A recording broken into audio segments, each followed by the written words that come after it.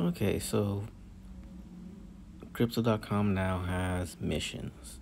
So pretty much the way this works, so you can get daily missions. You're gonna be able to collect diamonds. So you get one diamond a day just for logging in.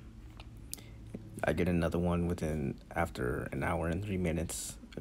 After I spend like 20 bucks, I can get five. After I spend 500, I can get 60 more. After I study, like go through their whole little university thing, I can get a diamond as well just for, yeah, learning about crypto. So there's another opportunity for you to kind of learn if you want to take advantage. But yeah, the point is, well, yeah, get started with missions and you can open up vaults. So I have 26 diamonds right now. I can redeem 25 and you're going to get CRO typically.